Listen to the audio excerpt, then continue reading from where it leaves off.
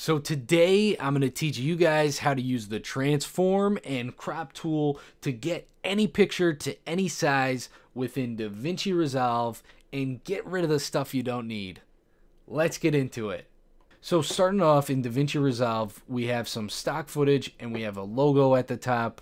Um, all I'm going to be doing for this tutorial is teaching you guys how to change the size of this logo and maybe move it across the screen. Let's see let's get into it. So once you guys have your footage in DaVinci Resolve, I'm just going to come across to the beginning of the timeline and you're going to want to drag down whatever your background is going to be and stick that in video one.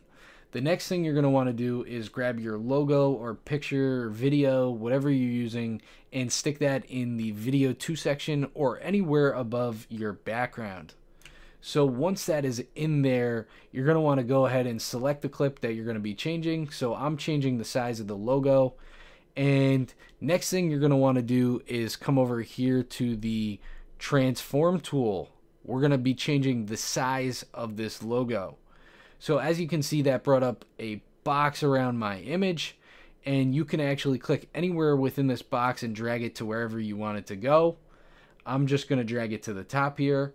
And you can also change the size of this image by grabbing onto the corners or the sides. Though I do prefer grabbing onto the corners because it doesn't distort the image. So I'm just going to drag it back to where I wanted it to go. Nothing too crazy here. Um, next thing we're going to do is we're going to actually crop out and get rid of this text because I just want the logo here. So you're going to go the same way you went to the transform tool and just select the crop tool this time. Once you have that selected, we're actually going to come down here to the bottom edge and I'm just going to drag that up till this text is removed. And you can do that to get rid of things like the background around an image and stuff like that. Um, but yeah, that is essentially how you do that and get rid of the text that is in your image, background within your image, um, changing the size of your image. And now, if you stuck around this far, I'm going to be teaching you guys how to animate your picture off the screen.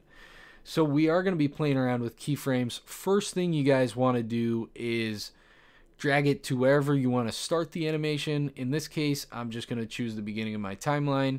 You're going to come in and you're going to select whichever image you're going to be moving. I want to move the logo, so I selected that.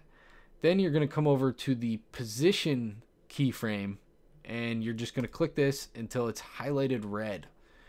Next thing we're going to want to do is you're going to want to select a spot in the video that you want it to move off screen. So I'm just going to choose the middle of this uh, logo video. And next thing we're going to want to do is come over here and select the position keyframe again.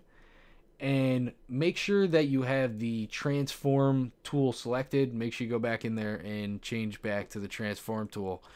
And then you can just simply move your image off the screen or to wherever you would like. If you want it down here in the corner, yeah, let's do that. We're going to have it dragged down to the corner. So now I'm just going to play through, show you guys what we got. And we got something like that. Now you got your logo in the bottom left-hand corner, and boom, you got it. So that's going to be all for this video. If you guys like this content, make sure you guys smash that subscribe button because I post DaVinci Resolve tutorials just about every single week so that way you guys can learn something new in DaVinci Resolve.